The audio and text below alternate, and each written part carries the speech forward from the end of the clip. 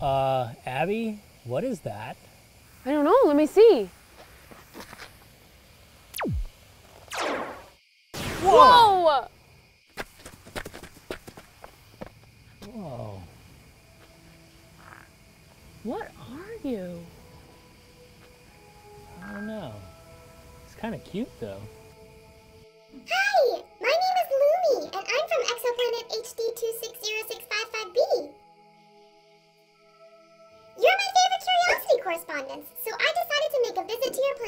Planet, but nobody knows about me yet. Not even Dr. Sara Seager? Nope.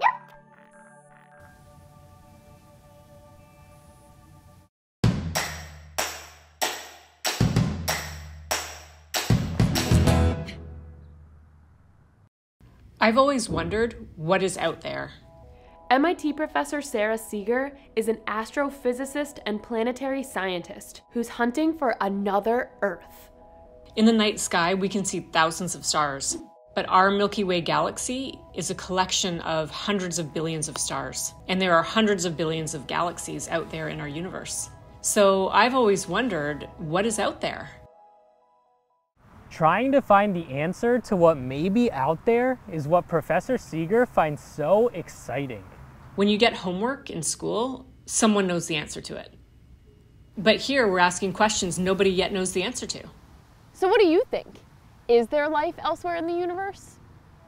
It's not necessarily a very scientific statement, but yes, I do believe that there is life out there somewhere in our universe. We know that exoplanets exist. We know that rocky planets, of the kind that might host life, are common. And everywhere we look, we see the ingredients for life. So, somewhere out there, everything must have come together for life to start and to thrive. Now for the challenge. To get started, you'll need to think like an astrophysicist.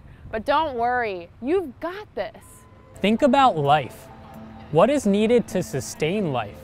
And what could alien life actually look like? A tree?